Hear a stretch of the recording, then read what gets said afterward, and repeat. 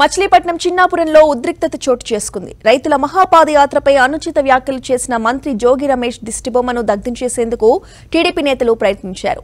జోగి రమేష్ దిష్టిబొమ్మ దహన కార్యక్రమాన్ని పోలీసులు అడ్డుకున్నారు.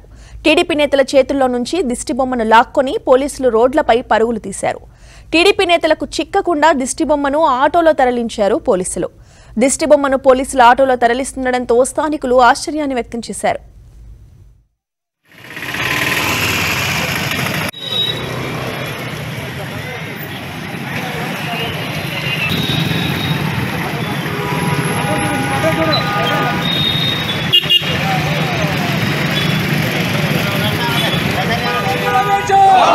అవినీతి జోగి రమేష్ అవినీతి జోగి రమేష్ అవినీతి జోగి రమేష్ అవినీతి Jogi Ramesh down down CM down down CM